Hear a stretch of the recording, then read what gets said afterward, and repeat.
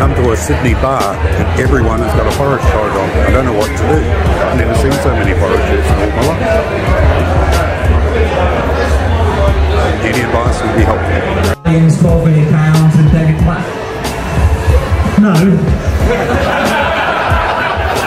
um, I, I was working in Essex covering my team, Southend at the time, and um, there was this wise old vice chairman, chief executive I was going to Nottingham to cover Nottingham Forest amongst other things. And they just appointed David Platt, and I said, this is fantastic.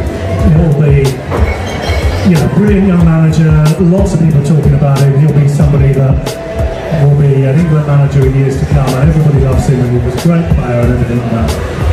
And he said to me, that's a disastrous appointment. He talked like Brian Clough.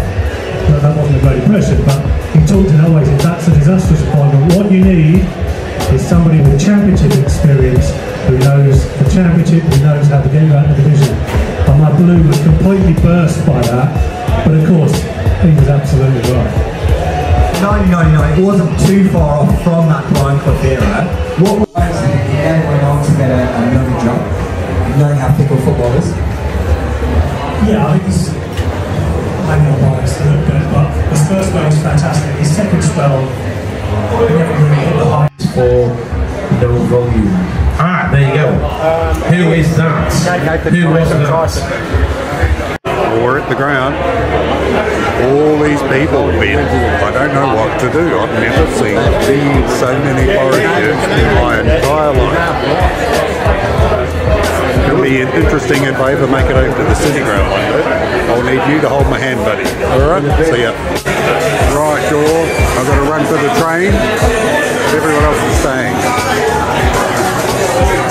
See you online later. Right. We're finished for the night. We're heading for the train.